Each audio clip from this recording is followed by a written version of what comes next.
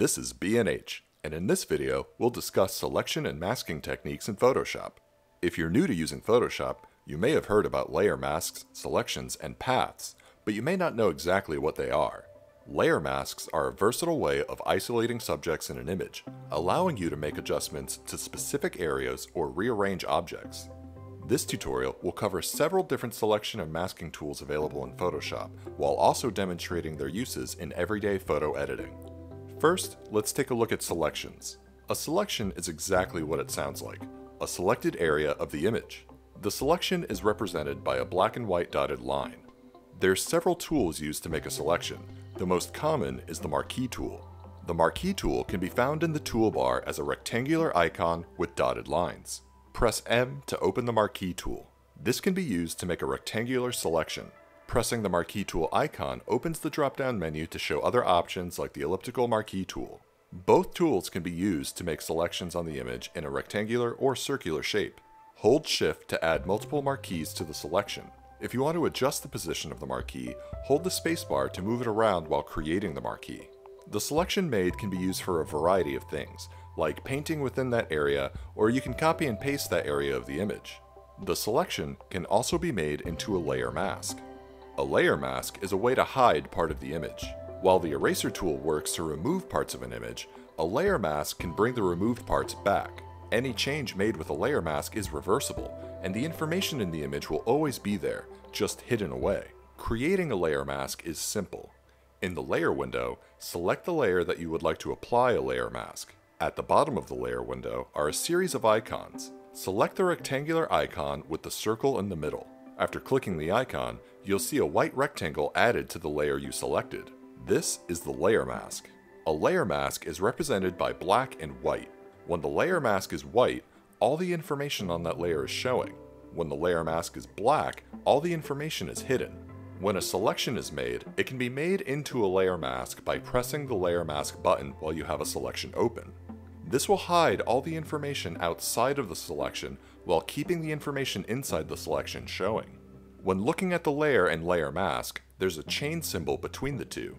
This links the position of the layer and layer mask. You can press the chain symbol to deactivate the link and you can move the layer and layer mask independently of one another. This allows you to shift the position of the layer mask, revealing different parts of the image, but keeping the same layer mask shape. You can press the space between the layer and layer mask to relink the two. When making adjustment layers like a hue saturation layer or curves layer, they're generated automatically with a layer mask. The adjustment layer will make changes to the entire image, but by modifying the layer mask on the adjustment layer, it will only affect the isolated areas in the mask. There's many ways to make modifications to the layer mask. The easiest way is to use the brush tool. I made a layer filled with blue and I applied a layer mask. When applying the layer mask, you'll see nothing has changed about the image. The entire layer mask is white, meaning all the information is showing. Select the layer mask and then use the brush tool. Change the color of the brush to black and you can start painting around the image. You can see right away that using a black brush on the layer mask removes those parts of the blue layer. Looking at the layer mask on the layer, you'll see the shapes we painted but in black. Changing the brush to white will bring that information back. The brush tool is a quick and easy way to make a layer mask, which is useful for quick composites or maybe you want to remove a part of an image. Using a black brush, I drew a smiley face on the layer mask of the blue layer. The layer mask is removing the smiley face from the blue layer, so the white layer is showing through.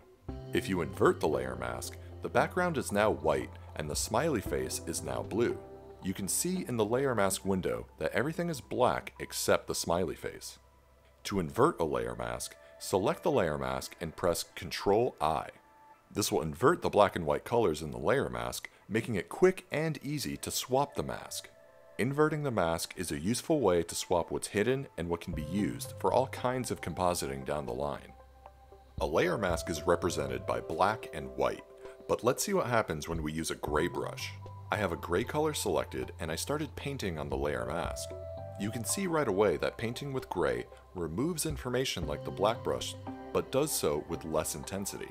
Using a gray brush is helpful for making soft edges to mask or toning down information that you want to hide.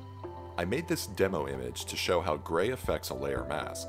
Here is a blue layer with a layer mask. Each section of the mask is a different intensity of gray, ranging from pure black to pure white. On the layer mask, it looks like a black to white gradient.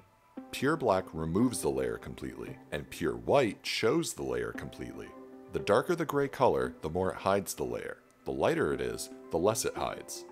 Using the brush tool and a layer mask, I want to change the color of this guy's shirt.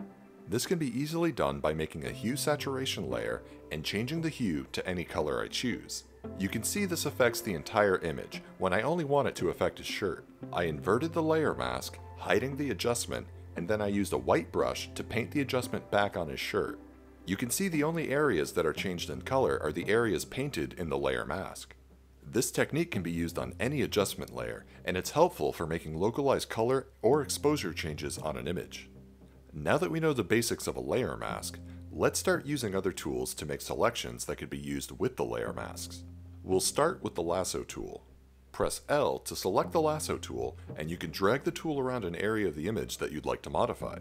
In this example, I have an image of some cleaning supplies, and I'd like to isolate the sponges. With the lasso tool, I'll drag the cursor around the sponges to make a selection, which is similar to the marquee tool except you can draw the selection yourself. With the selection made, make sure you have the target layer selected and press the layer mask button. Now the rest of the image is hidden away, except what we selected with the lasso tool. When the background looks like a gray and white checkerboard, that means there's no information in that area showing. We have the sponges isolated and we can move them around or make any changes to them that we'd like. The selection I made with the lasso tool was quick and kind of sloppy. There's portions of the background showing, but I can clean this up with the brush tool. Select the brush tool and use a black brush to paint around the edges of the sponges to remove the background. In this example, we used the lasso tool to isolate the sponges with the layer mask, and then we cleaned it up with the brush tool. The polygonal lasso tool works similarly to the lasso tool, but makes straight line segments instead of drawing freehand. You can find the polygonal lasso tool by pressing Shift L or pressing on the lasso icon to open the drop-down menu of lasso tool options. With the polygonal lasso tool selected, click on an area of the image that you'd like to start the selection and click where you'd like the corners of the selection. This works well on geometric shapes like rectangles or triangles, where the edges are sharp and there's defined corners. In this image of the cleaning supplies, the polygonal lasso tool works well on the rectangular shaped sponges. You can hold the Alt or Option key to switch to freehand drawing, which allows you to draw over any curved areas and then easily switch back to straight lines. I was able to use this on the sponge to get a pretty good cutout that includes the curvy edges. You can also hold down on the Shift key when making line segments to make diagonal lines in 45 degree increments. The magnetic lasso tool is an automatic version of the lasso tool that snaps the selection to border edges. This works best in situations with high contrast backgrounds, where the tool can separate the edges of the object and the background. With the selection brush, simply click and drag along the edge of the object you'd like to select, and the magnetic lasso tool creates fastening points that will snap the selection to the edge. If the tool is having a hard time snapping to the edge, you can adjust the contrast slider to change the sensitivity of detecting the edges and the frequency slider, which changes the rate the lasso makes fastening points. This is a great tool for making quick and mostly accurate selections. In this example with the sponge, it followed the curves and intricate areas of the sponge pretty well. The Quick Selection tool works like a brush that automatically generates a selection based on tone, color, and texture of the object that you're brushing over. This works well to select an object in an image. Here I have a simple image of an almond on a white background. Using the Quick Selection tool, simply click and drag the selection brush on the almond. You can see right away it starts to generate a selection based on what you click, and it tries to search for the edges. Drag the selection brush near the edges to expand the selection until the entire almond is selected. This selection can be made into a layer mask and the almond is ready for compositing into another image. Like most of Photoshop's auto selection tools, the quick selection tool works best on objects with a clear contrast between the background and the object. Here's another close-up image that I took of a coffee bean on yellow construction paper. Using the quick selection tool to make a selection on the coffee bean, it makes a selection on most of the coffee bean, but it gets a bit confused on the area with the yellow highlight along the side. You can adjust the size of the brush and hold the Alt key to remove areas from the selection or release the Alt key to add areas to the selection. The Magic Wand tool works similarly to the Quick Selection tool, but works best for making large selections, specifically backgrounds. Using the Magic Wand tool, click on the background and it will start to make a selection based on the color and tones, ending the selection at what it detects to be a contrast edge. Holding the Shift key, you can add to the selection and keep clicking along the background to make the selection until the entire background is selected. When using the Magic Wand tool, it can create some artifacts in the layer mask, so you'll have to adjust the tolerance which will make the tool more or less sensitive depending on the tolerance level.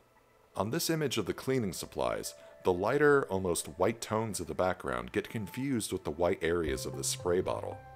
The Magic Wand tool is great for selecting backgrounds, but it still might need some adjustments made to fix the selection. The Object Selection tool is a cool new addition to Photoshop that makes it easy to automatically select individual objects in an image. With the Object Selection tool, simply click and drag a selection area over the item that you'd like to select. Photoshop will automatically detect what the object is in the selection window and make a selection on this object. There's two modes, a rectangle and a lasso mode for more exact selections. Let's try out the object selection tool on a few different areas of this image of cleaning supplies. This image works well for demonstrating the tool because it's a very cluttered image with objects overlapping and a lot of different colors. First, we'll try making a selection on the sponges. Using the rectangle mode, it does a good job selecting the yellow areas of the sponge, but it loses the blue area at the bottom. Using the lasso tool to make a more refined selection around the sponge, it does a better job at selecting the sponge, but it still misses the corner.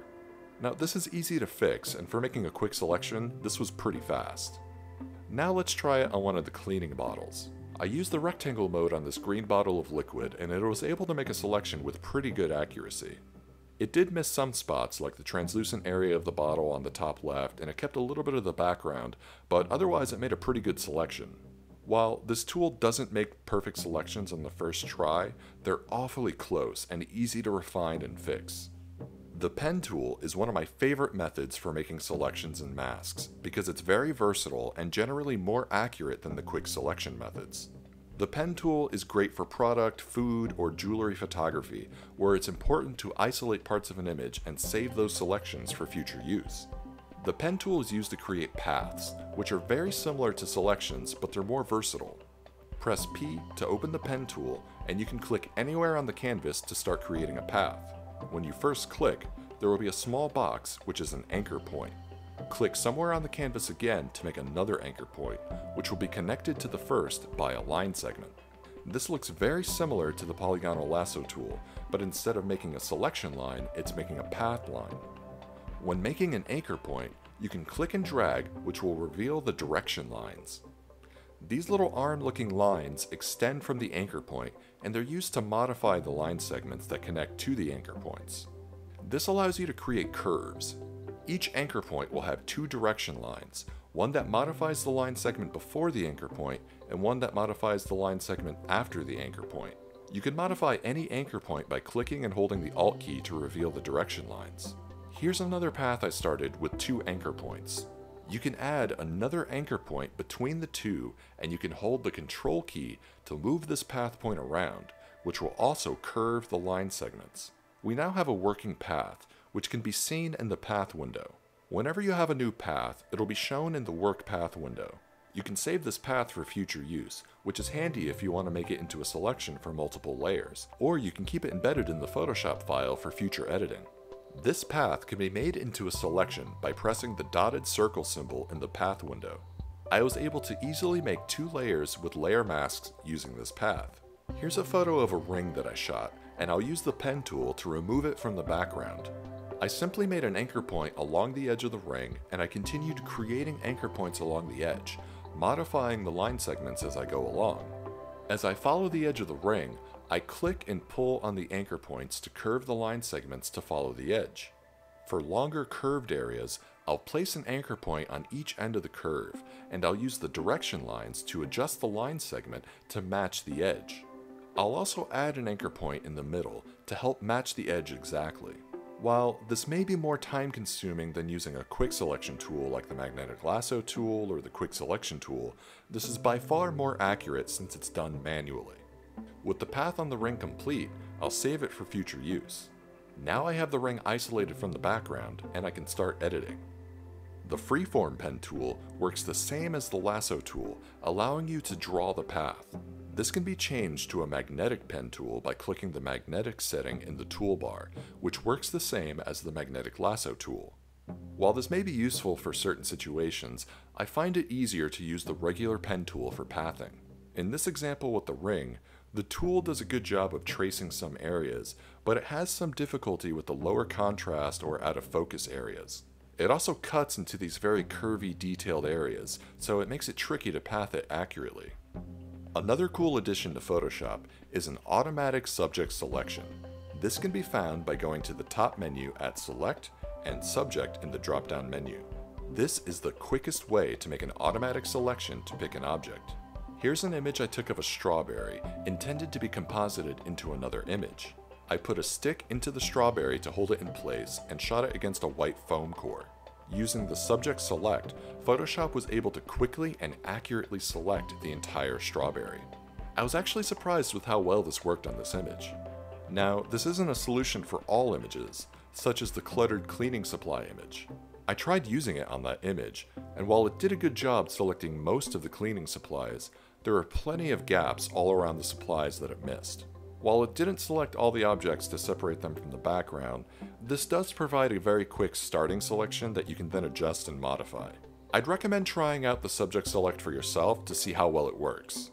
I also did a few tries on images with people, and it was actually able to select them.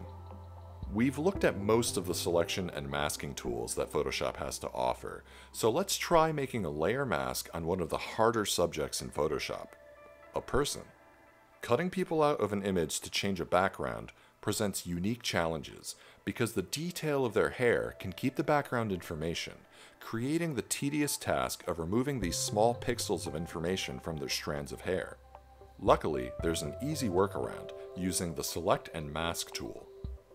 Here I have an image of a guy in front of a plain grayish background.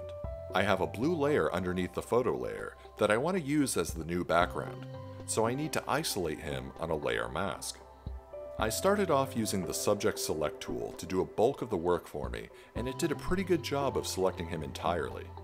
I made this selection into a layer mask, and he's on the blue background.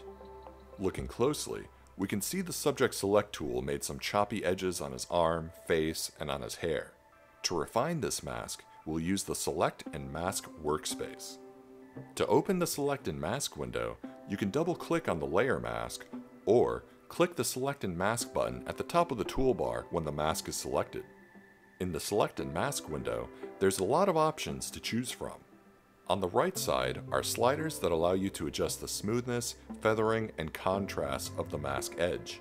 I like using the smooth and feathering options to smooth out some of the choppiness on the edges that the automatic selection tools create. On the left side of the Select and Mask window are a series of brushes which we'll use to fix the detail in his hair and arms. The Quick Selection tool will add or remove areas from the border of the mask, detecting the color and texture similarities. The Refine Edge brush adjusts the border area and it works perfectly for areas with hair or fur to remove the background. The brush tool will add or subtract from the mask, but it does not detect anything automatically, it's just working as a standard brush. The lasso tool lets you draw custom selection borders so you can add or remove them from the mask. The hand and zoom tools allow you to navigate the image as you make refinements to the mask. First, I'll use the quick selection tool to bring back some of the areas of the image. The guy's hand is posed on the back of his head, and some of his fingers are missing from the top, so I use the quick selection tool to bring that information back into the image. Now I'll use the Refine Edge brush, and I'll brush over the areas of his arm to fix the edges of the mask. The guy's quite hairy, and having the mask edge end on his skin looks a bit fake and unnatural, so we want to bring the hair detail back. Brushing over the area with the Refine Edge brush brings back the hair detail while keeping the background detail out of the mask. It may take a few passes and some back and forth work, but this tool works perfectly to create a natural mask edge. I use the same refined edge brush on his head, face, and neck edges so they all look more natural and they blend together with the background. After a few refinements, the layer mask is clean and it looks good with the new background. We can make any change to the background that we want, and it only took a few minutes to remove him from the original background. Photoshop has come a long way in providing the tools necessary to make image adjustments, and they work great in a variety of ways. What you may notice in this tutorial is that Photoshop offers a lot of different ways to do similar tasks. Each tool is designed for a different situation, and no one tool is a catch-all for all editing needs. You can easily combine these tools, which will help improve your editing. As you learn to use these selection and masking tools, they'll help you adjust the way you approach shooting images, which will make editing easier. If you want to shoot an object that will have the background removed, then you'll want to use a simple, single color background that will be easier to remove instead of a busy or cluttered background. Photoshop has come a long way in providing the tools necessary to make image adjustments, and they work great in a variety of ways. As you learn these tools, they'll open all kinds of opportunities to help you enhance your images. This is B&H, and if you found this video helpful, please like, comment, and subscribe.